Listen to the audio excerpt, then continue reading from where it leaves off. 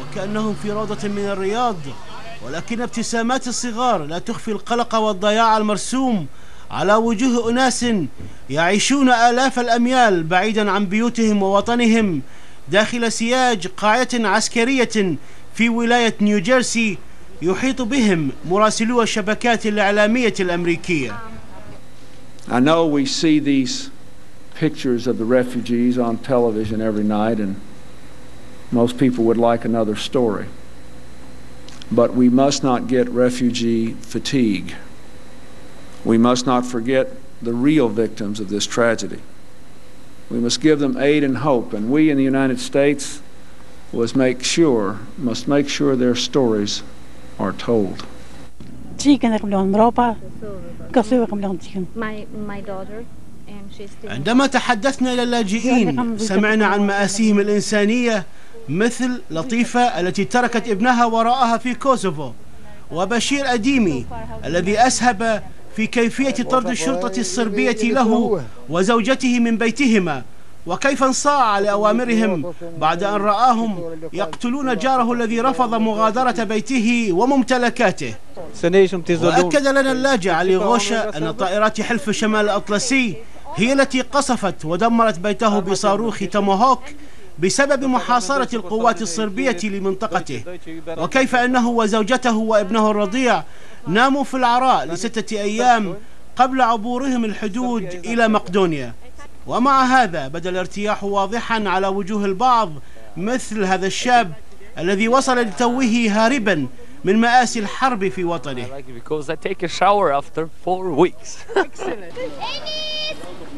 because I take a shower after four weeks. خمسون في المئة من اللاجئين الكوسوفيين في قاعة فوردكس هم صغار نقلتهم الطائرات الأمريكية من مقدونيا التي مارست الضغوط على حلف شمال الأطلسي وأغلقت حدودها أكثر من مرة في وجه المطرودين والهاربين من ويلات الحرب حتى الآن أكثر عن 115 ألف لاجئ قبلوا من دول مختلفة آه، ونص نصهم تقريبا سافروا من مقدونيا إلى دول مختلفة. حب أعمل نداء خاص للدول العربية أنها برضو تقبل وحتى لو عدد صغير آه، مؤقتا آه، في في الدول العربية على أساس تخفف الضغط الموجود الآن في مقدونيا هذه هي المرة الأولى التي تعتني فيها الولايات المتحدة باللاجئين على تربة أمريكية. وهم يصلون منذ الخامس من مايو أيار الماضي إلى هذه القاعدة بمعدل 1400 أسبوعيا.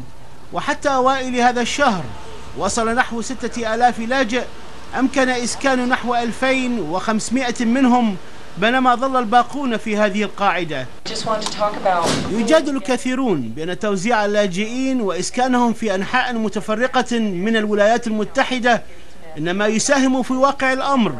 في تحقيق ما يوصف بالتطهير العرقي في كوسوفو very understandable concern, and, and obviously we didn't take lightly our commitment to bring people to the United States, understanding that um, we could be, by doing that, signaling our um, um, association with Milosevic and what he's trying to accomplish. But we believe uh, very strongly that people are committed to returning to their homes. Uh, the day before the first flight arrived, we uh, got indication that some people were not wanting to come to the United States because of their concern that they wouldn't be able to return. كثير من اللاجئين يعانون من المشاكل النفسية حتى أن 15 طبيبا يشرفون على علاجهم. كما يوجد في المعسكر نحو 400 عسكري يطبقون تعليمات مشددة توصيهم بالحديث إلى اللاجئين وإظهار حساسية نحو دينهم وتقاليدهم ومشاعرهم. يطلقون على هذا المكان اسم القرية ولكنه في حقيقة الأمر منطقة احتواء للتأكد من خلو اللاجئين من الأمراض وللتدقيق في خلفياتهم وسجلاتهم الإجرامية إن وجدت.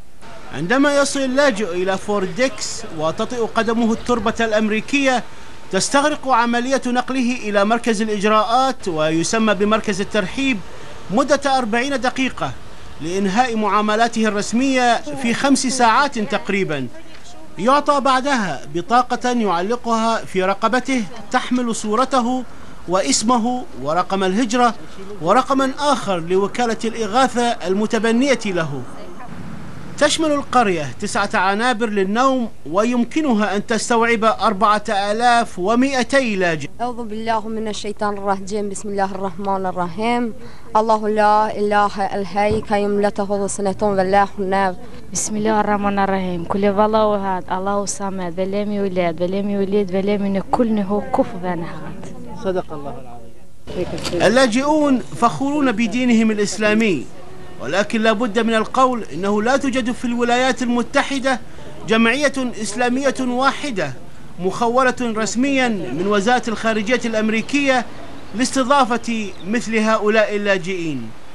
المسؤولون في الخارجية الأمريكية يرددون دائما أن قبول اللاجئين لا يشكل دعوة للإقامة الدائمة.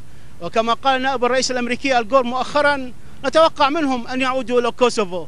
ولكن الإدارة الأمريكية لا تركز على حقيقة قانونية وهي أنهم لن يستطيعوا شرعا إرغام اللاجئين على العودة إلى بلادهم إذا فضلوا البقاء في أمريكا.